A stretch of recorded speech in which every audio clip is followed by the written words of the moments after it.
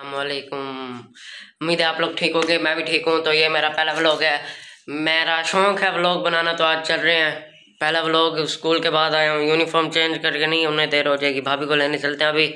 आके फिर uniform change करेंगे, फिर कज़न बुला रहा है, उसके पास चलेंगे, पहले चलते हैं, भाभी को ले आए। चलते हैं, भाभी को ले आते हैं होंडा पे जाएँगे, मैं उधर स्कूल जाके आपको दिखाता हूँ फिर। लेके आ चुका हूँ, इधर बिल्ली को फ़ीड डाल देते हैं। लाओ जी। तो अभी कपड़े चेंज करते हैं और फिर चलते हैं कज़न के पास। अभी कपड़े चेंज कर लिए हैं और अभी चलते हैं कज़न के पास। मैंने आपको बताया, वो बुला रहा है, उसकी तबीयत सही नहीं है। अम्मी को बताते हैं, फिर चलते हैं। अम्मी को अब चलते हैं बाइक पे, उसके घर उसके घर जाके आपको दिखाता हूँ।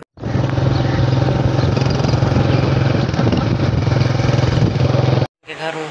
तो उसके घर बोतल शोतल पे रहे हैं गिलास लेने आए, आंटी से बोला है, और मैं अभी माहौल दिखाता हूँ, अपना अंदर माहौल लगेगा।